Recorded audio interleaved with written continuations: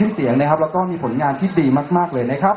แล้วก็เดี๋ยวเรื่องรุ่นพี่นี้เนี่ยนะครับ จะฉายนะครับ วันที่ 3 ธันวาคมติดตามกันได้ แต่ว่าวันนี้เราจะมาพูดกันถึงเรื่องของหนังสือนั่นเองนะครับ แต่ก่อนอื่นนะครับในช่วงนี้ต้องขอเรียนเชิญนะครับ คุณวรพันธ์โลกิตสถาพรกรรมการผู้จัดก็เป็นอีกหนึ่งคนนะครับเรื่องหลังความสำเร็จของหนังสือรุ่นพี่ของเราในวันนี้นะครับ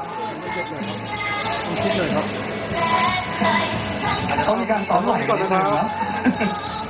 มองนี้นะครับหนึ่งสองนี่ครับของความสำเร็จ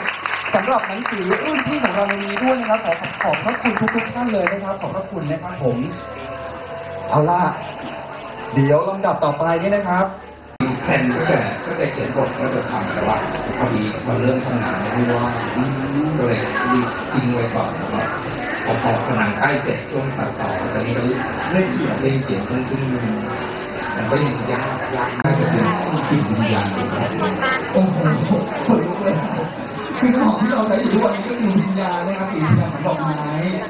ทำไมก็ใช้ได้เหมือนกันเราก็พยายามหาหาไอ้ไอ้ไอ้ไอ้ความหมายที่มันคือเมื่อก่อนเคยอ่านนิยายของของต่างประเทศเป็นน้ำหอมนะมันจะมันจะเรื่องกลิ่นถึงได้ที่ที่ที่ที่แบบนี้นี่ก็เป็นที่ วิญญาณนี่เองถ้าเกิดจะหา